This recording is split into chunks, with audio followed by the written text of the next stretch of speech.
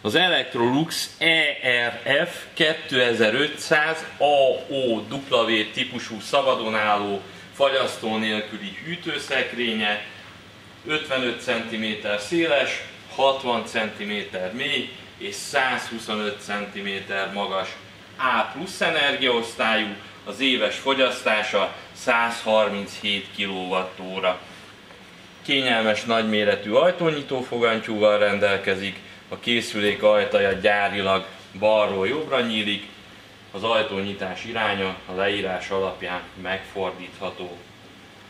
A hűtő 240 liter nettó űrtartalommal rendelkezik, stabil erős biztonsági polcok vannak benne, melyek jól pakolhatóak és könnyen tisztán tarthatóak. Alul található egy nagyméretű zöldségtároló fiók, melynek a FlexiFlash segítségével tudjuk a páratartalmát szabályozni.